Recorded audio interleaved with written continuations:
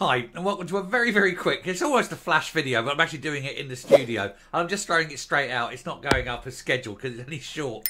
Uh, but what it is, is, is I'm really annoyed about this. It just goes to show the level of care that people just don't bother anymore. It's thrown up and nobody cares. And it really annoys me. Takes one second to check something and they can't be asked. Uh, and it's a newspaper headline and they couldn't have got it wronger, right? Let's have a look at this. So rush out to your local newsagents and buy a ticket, and you too can win Eurovision.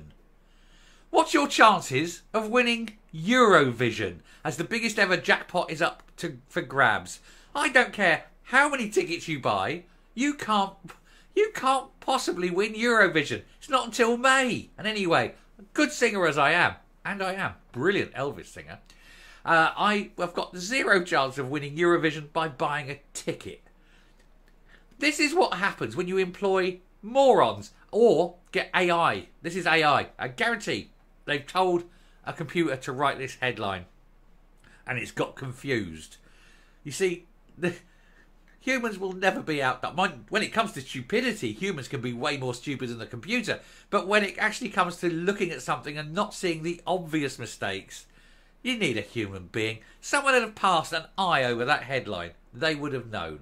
But no, the lazy, stupid tosspots can't even do it. So there you go. You win a ticket tonight, and you too can join the likes of ABBA, Bucks Fizz, the Brotherhood of Man, and who was that other one that was really good who didn't win it? Cliff Richard. Anyway, here we go. I'm coming up. Done. That's it. That's it. End of that. End of video. Just annoying, isn't it? Anyway, bye.